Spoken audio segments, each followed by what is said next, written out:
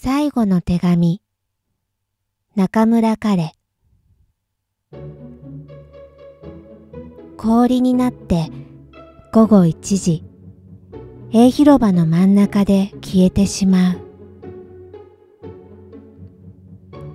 送ってもらったドイツ製の目覚まし時計の中に隠れるから灯台の先へ上がっていって海の方へ力いっぱい放ってくれたまえ。太平洋の真ん中にはちっちゃくってきれいな魚はいないだろうか。必ず僕を食べてほしい。豆になって飛び込むから。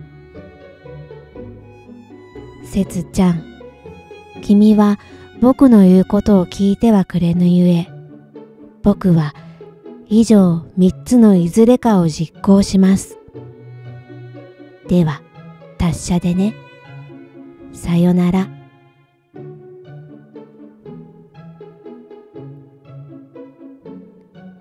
足裏中村彼。円錐形の先で僕一人。町や川があって人が歩いている。海があって島や船が動いている。陸や山や不毛の地を持っている。円錐形の美しい側面。